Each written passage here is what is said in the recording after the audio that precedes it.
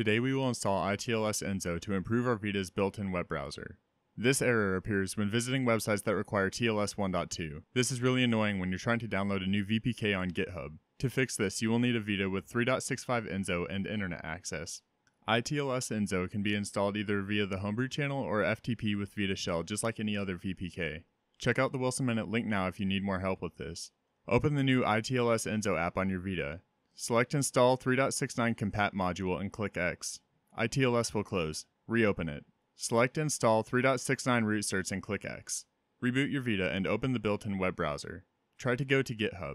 You should now be able to visit any website requiring TLS 1.2 on your Vita without a problem. Thank you for watching and I hope you enjoyed this episode of the Wilson Minute. If you did, make sure to like, subscribe, comment, and if applicable, watch the next and previous videos in this series. If you would like to help support this channel, I have listed ways to do so in the video's description. Now get out there and apply your newfound knowledge.